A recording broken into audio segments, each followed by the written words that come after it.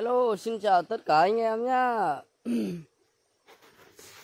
Hôm nay tôi đi lên rừng tôi tình cờ gặp được cái à, cái loại cây này này. Này. Đấy.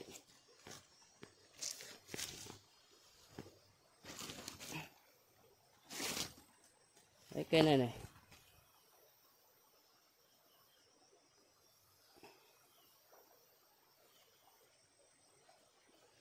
Đây là một cây thuốc quý nha anh em nhá. Đây tôi vừa đào cái uh, của nó lên ở đây. Đấy.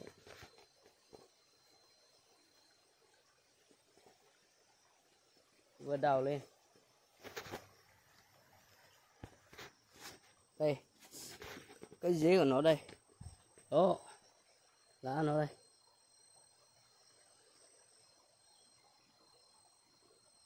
Đây.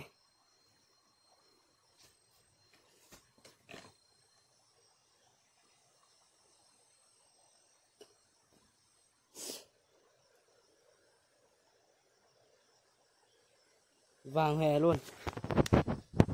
Gì nó vàng hè luôn. Đấy.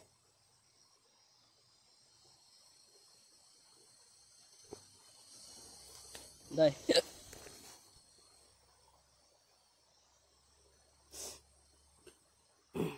cái này mình không biết là cây thuốc ừ, gì. Nhưng mà tiếng dân tộc thì nói thì nói các bạn cũng không biết đâu. Còn nói tiếng kinh thì mình không biết là cái này là, gọi là cây gì dễ gì. Này, đắng lắm. Này, thuốc đắng này có thể chữa đau bụng này. Nhiều chữa được nhiều bệnh luôn anh em nhé đấy.